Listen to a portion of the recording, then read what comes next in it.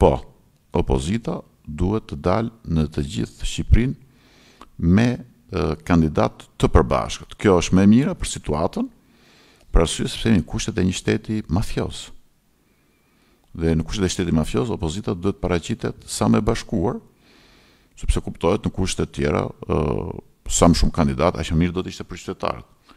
Por nuk kemi në kushte në kushte normale, demokratike, Përkundrazi, jemi në kushtet kur opozitës nuk i lejohet të as të vonohet, as të mos koordinohet, as të mos bashkohet për këtë qëllim të përbashkët në interes të të gjithë qytetarëve shqiptarë.